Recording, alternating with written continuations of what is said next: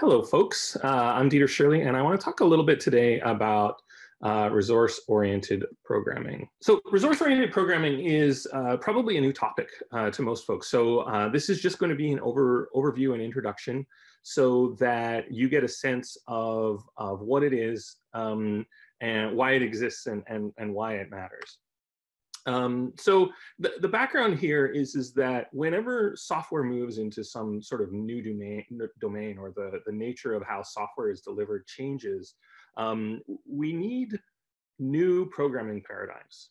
Uh, and so I give some examples of that. So in the early days of computers, uh, computers were sort of a one-off thing, right? Um, you know, the famous quote from the uh, president of IBM at, at, one point was is that there's going to be a global worldwide marketplace of, of um, of about five computers. Um, and, and of course, you know, at that time when computers were such specialized equipment, um, every piece of software was written bespoke for that computer because it was, they were multi-million dollar uh, installations. Um, but as computers got cheaper and we started to have, you know, sort of the beginnings of commodity hardware, it became really important that code could be written for one computer and run on another, what we call portable code. Later on, we, we started to have relational databases in the 70s. And so the idea of being able to do atomic transactions was a new programming paradigm. When the graphical user interface was introduced in the 80s, we saw that uh, object-oriented programming was a, a, new paradigm that was perfectly suited for that environment because suddenly software was dealing with you know these these virtual objects in the, in the forms of buttons and, and uh, menus and, and windows. And then when the web came out, we started to have client-side scripting. And this was fundamentally a different way of running software. Previously, software would be you know, written by somebody, compiled into a binary for a particular kind of computer, and then you know, in, installed uh, typically, in some cases, in a very involved process that could take as many as hours, uh, as long as hours, and that software would run very efficiently on that computer, but the setup time was, was very long when we moved to the web, we wanted to be able to download these little JavaScript programs and, and as time went on, even more complex JavaScript programs and run them on any computer, regardless of what kind of hardware it was running. And to keep that, that, uh, that execution environment efficient, but also safe so that the code had significant limits on what it was able to do it. And when, whenever we saw these new paradigms become important, we saw new languages develop, brand new computer languages. And so for portable code, we saw the development of languages like Fortran and C. When we had relational databases and we wanted atomic transactions, we developed the language called uh, SQL or SQL. Um, Object-oriented programming led to the creation of, of, Smalltalk, one of the very first, and, and of course Java, which was maybe even the most popular um, object-oriented programming language. And client-side scripting, of course, everyone knows is, is all built around JavaScript. And so when we look at software moving into the blockchain, uh, we're talking about a new domain. So what's different about this new domain? And I think that are two primary things that are different about software running in blockchains that we've seen is the ability for creating scarce assets. Um, and you know, we're used to thinking of assets as sort of you know that term referring to financial things, but of course, you know, we think of CryptoKitties as scarce assets too, and that's part of the magic of CryptoKitties is that yours is different than everyone else's, and what happens when you breed your kitties together is different than what happens when everybody else does.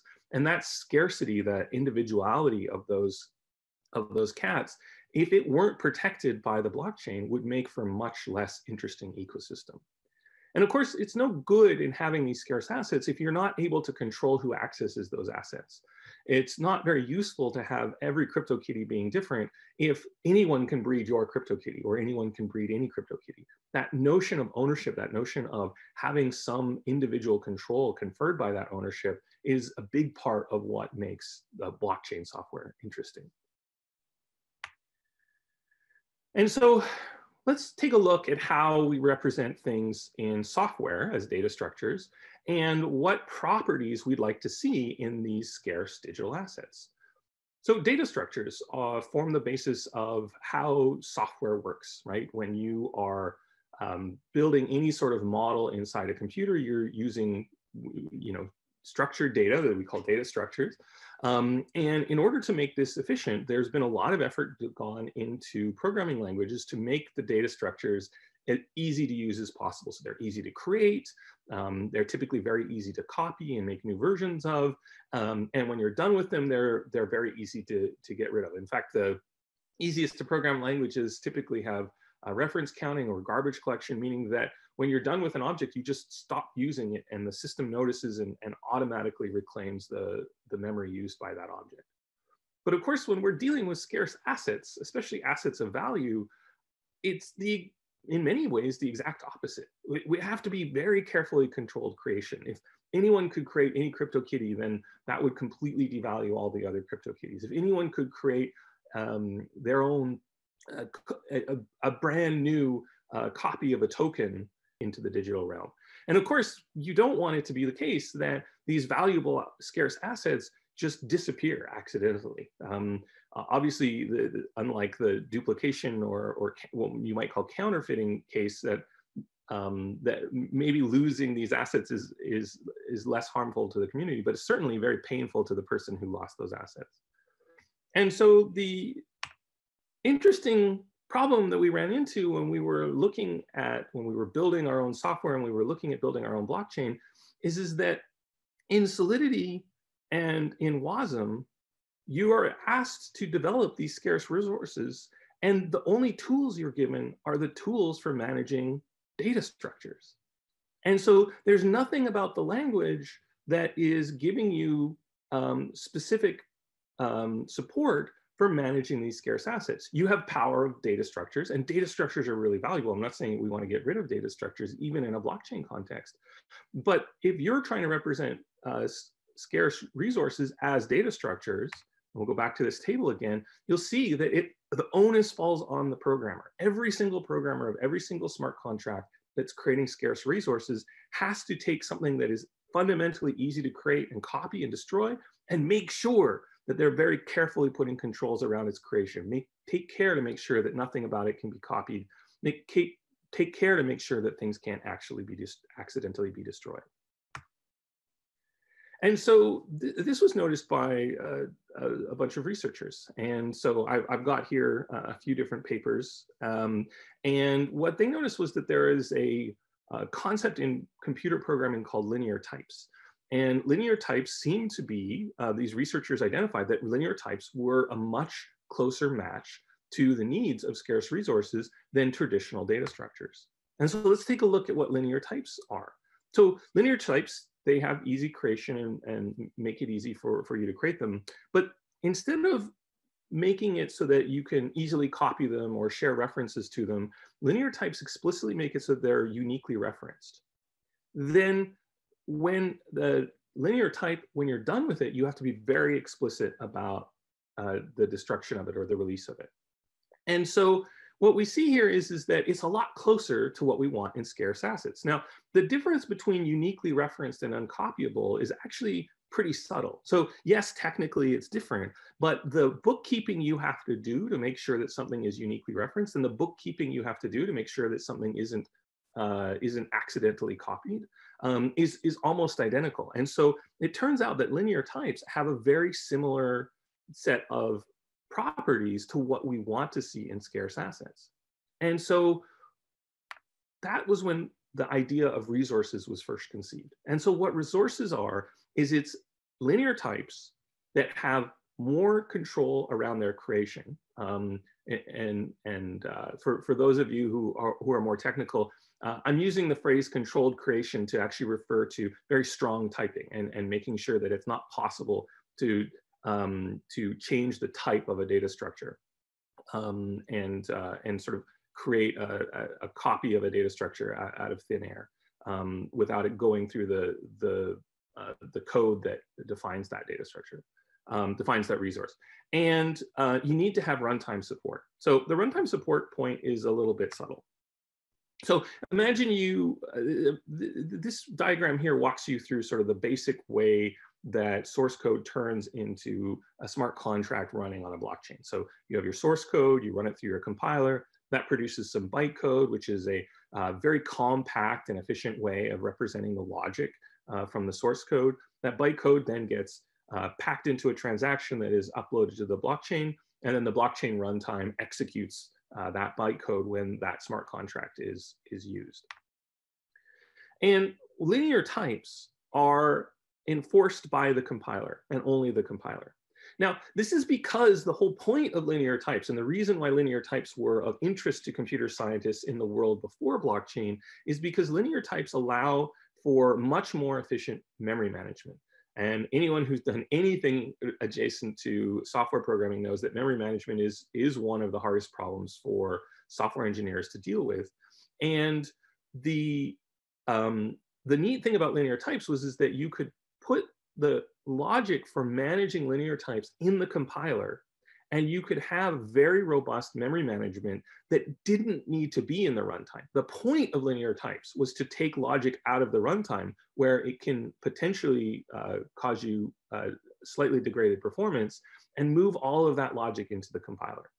But in the blockchain context, that doesn't help us because somebody who is malicious and trying to undermine your system can create a smart contract, run it through the compiler, have all of the rules for linear types enforced by the compiler, but then go and manipulate the bytecode to break those rules. And so if those rules are only enforced in the compiler, there's this window for a hacker to come in and modify the code, and you can't be sure that those linear type rules will be respected by every single smart contract on the system. And so resources need to have logic in both places. You need to have logic in the runtime and you need to have logic in the compiler. Technically, you'd only need to have the logic in the runtime, but of course, it'd be a pretty bad compiler that didn't warn you about things that you were doing um, that were going to fail at runtime if, if it was able to detect that. And so that means that our poor hacker can't do much. They can bypass the checks in the compiler and manipulate the bytecode, but once that bytecode gets uploaded to the blockchain, the, the runtime itself is going to uh, protect the, uh, the rules enforced by those resources. And so now we have from resource-oriented programming, we have the ability for managing scarce assets. Now, the second thing I said was controlling access to those assets. Um, and it, it might seem like this doesn't really help us there, but it turns out, and I'm gonna have to rush through this a little bit because uh, my technical difficulties earlier, but there's a, a, a security model called the capability-based security model, or uh, you also see it referred to as the object capability model. And it's a different way of doing security. So often when we think about security, we think about an access control list model or ACL model, where what you can do depends on who you are.